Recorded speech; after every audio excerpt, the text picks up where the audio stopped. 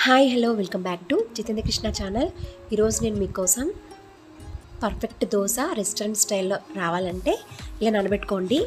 నేను మూడు కప్పుల బియ్యాన్ని తీసుకుంటున్నాను. నేను రేషన్ బియ్యం తీసుకుంటున్నానండి. ఈ బియ్యం తీసుకోవటం వల్ల దోశ చాలా టేస్టీగా వస్తుంది. త్రీ కప్స్ వేసుకున్నాం కదా. ఇప్పుడు మూడు కప్పుల బియ్యానికి అదే కప్పుతో ఒక కప్పు మినపప్పు వేసుకోవాలి.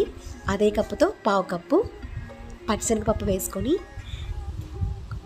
ఒక హాఫ్ స్పూన్ మెంతులు వేసుకొని నీళ్ళు పోసుకొని శుభ్రంగా కడుక్కొని నానబెట్టుకొని ఉంచుకోవాలి పప్పుని.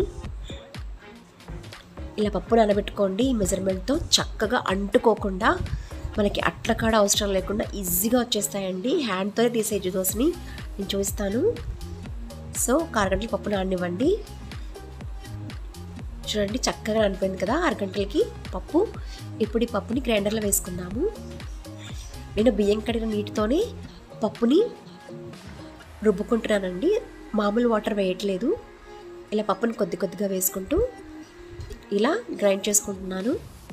మిక్సీలో కూడా చేసుకోవచ్చు అంటే చాలా చక్కగా వస్తుంది పిండి.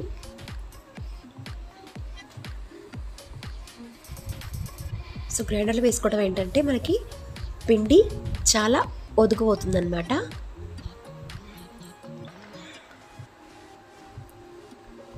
సో గ్రైండర్లో పిండి చక్కగా మెత్తగా అయిపోయింది కదా ఇప్పుడు షిఫ్ట్ చేసుకుందాం గిన్నెలోకి.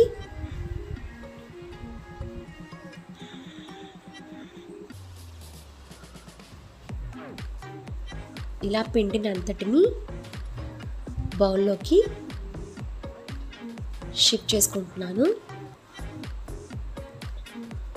చూడండి పిండి సగం వరకు వచ్చింది కదా. ఇప్పుడు మూత ఉంచుకొని నైట్ అంతా ఉంచితే మార్నింగ్ కదా చూడండి ఎంత చక్కగా పిండి పొంగింది కదా. సో ఇప్పుడు దోశ వేసుకుందాము. చూడండి చూపిస్తాను మళ్ళీ ఒకసారి మీకు. చూడండి ఎంత చక్కగా వచ్చింది కదా మనకి. వంట సోడా అవసరం లేకుండా కొద్దిగా సాల్ట్ వేసుకొని కొద్దిగా నీరు పోసుకొని ఇలా దోశ బ్యాటర్ లాగా చిక్కగా ఇలా పెట్టుకోవాలి. పలుచగా పెట్టుకోకండి బ్యాటర్ని. ఇప్పుడు స్టవ్ ఆన్ చేసుకొని దోశ పెనం పెట్టుకొని ఇలా దోశని స్ప్రెడ్ చేసుకోండి. చుట్టూ ఆయిల్ వేసుకొని నేను ఉల్లికరం చేసుకున్నాను సో అది నేను స్ప్రెడ్ చేస్తున్నాను దోశ పైన. చూడండి ఎంత బాగా దోశ. దానంతకది లేస్తుంది కదా.